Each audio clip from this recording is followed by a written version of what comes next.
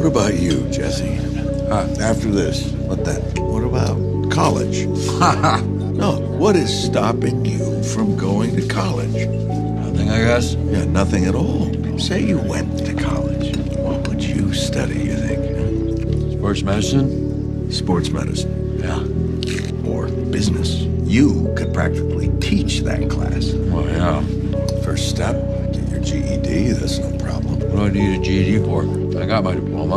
Oh, of course, yeah, right. You were standing right on stage when they handed it to I know, it just slipped my mind. I totally graduated high school, Dick. We just like no thanks Stay to on you, the subject all right? here. You know what? Forget it. I, I don't, I'm just making conversation. You're really lucky, you know. You didn't have to wait your whole life to do something special.